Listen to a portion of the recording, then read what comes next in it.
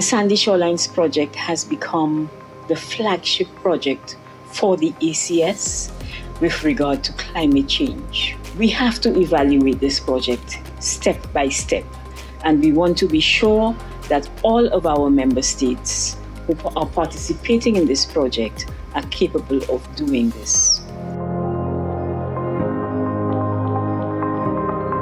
Crear Panamá como un hub de cooperación, un hub del conocimiento, donde espacios como este tengan cabida y sobre todo que tengan eh, proyección de cara al futuro.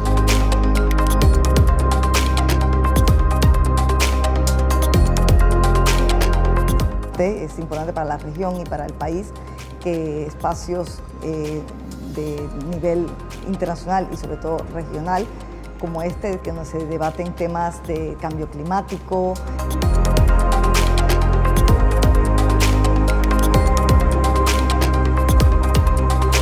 Countries in our region are facing a slow-moving but devastating disease called sea level rise and coastal erosion.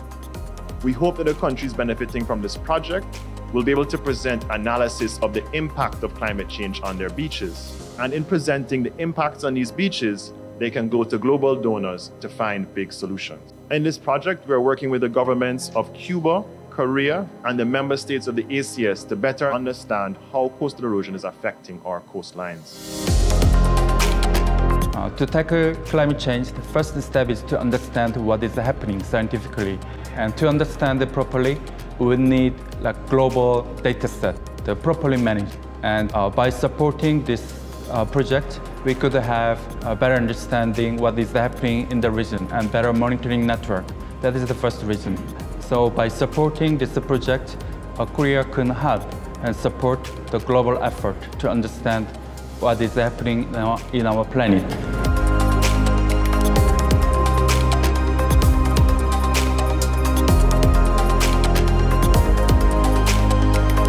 Eh, eh, primero, debe, pienso que el, la problemática que estamos analizando en la región está muy enfocada, en el caso de este proyecto en particular, al tema del impacto del cambio climático. O sea, estamos, digamos, el objetivo central del proyecto eh, es monitorear, es conocer, medir eh, en la medida que, podamos eh, cómo van a responder las playas del Caribe al fenómeno de la elevación del nivel del mar y en sentido general, digamos, al cambio climático.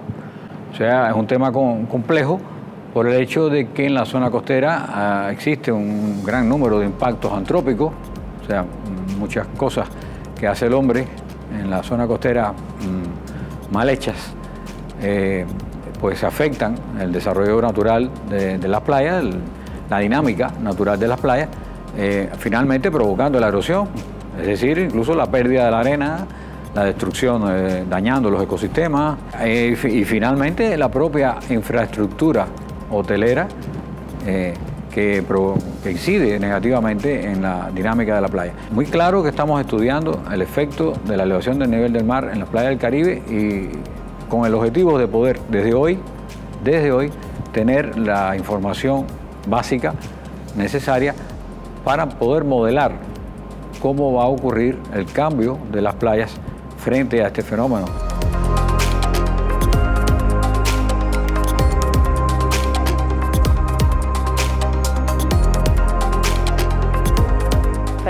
Que nada es un honor, un placer grandísimo. Me estoy muy estimulada. los muchachos que tengo de, estudiantes están muy, muy interesados. Y, yo creo que sí, que lo poquito que uno sabe lo debe compartir, porque en definitiva el Caribe es una sola familia, todos somos muy parecidos y, y tenemos que luchar porque las playas y las costas en general no se sigan erosionando porque para todos es muy importante, desde el punto de vista recreativo, económico, desde todos los puntos de vista estético, de todo y yo creo que el cuidado de las playas y las costas en general son importantes. Compartir lo poco uno sabe eh, es mm, colaborar un poco en que las cosas mejoren.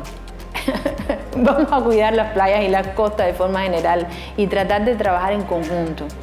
Muchas veces eh, hay que unir mucho también a la, población que vive en, en las zonas costeras que saben mucho de, a lo mejor no tienen el conocimiento científico, pero sí tienen la experiencia del día a día de lo que está pasando.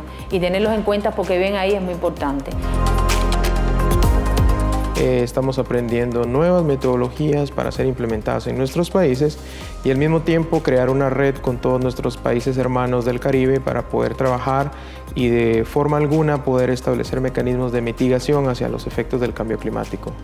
Es muy importante establecer cuál es la estructura de los sedimentos para saber cuál es el origen, cuál es la dinámica que están teniendo los sedimentos y, y al tener esta caracterización nosotros ya podemos plantear programas de rehabilitación de playas, por ejemplo.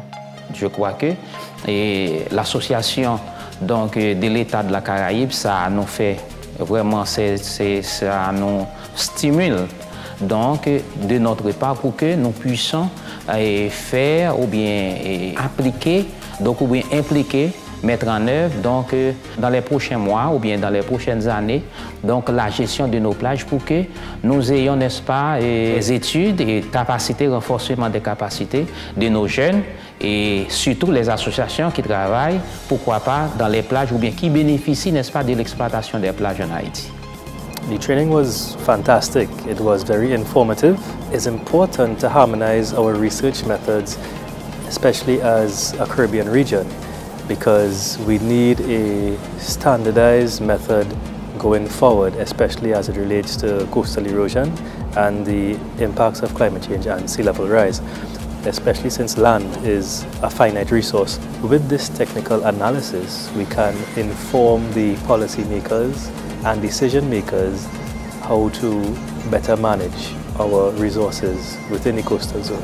And we've seen areas where a lot of places where you used to have beaches, you no longer have beaches there, or you find that you're seeing like significant reduction in sand. I'm very grateful to the ACS for the opportunity to be here, for the opportunity to learn, to network with other countries. Um, the knowledge that we've gained here, it's been really great and it's going to be very useful.